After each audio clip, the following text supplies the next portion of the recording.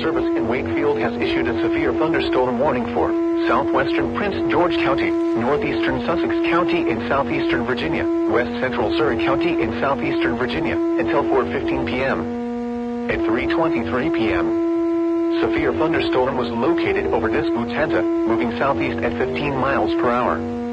Hazard, 60 miles per hour with gusts and penny-size hail. Source, radar indicated. Impact, expect damage to trees and power lines. This severe thunderstorm will be near Waverly and Homeville around 4.10 p.m. Other locations impacted by the severe thunderstorm include Newville, Templeton, Barham, and Prince George Gulf. For your protection, move to an interior room on the lowest floor of a building. Please report severe weather by calling 757-899-2415, posting to the National Weather Service Wakefield Facebook page, or using Twitter at NWS Wakefield, VA.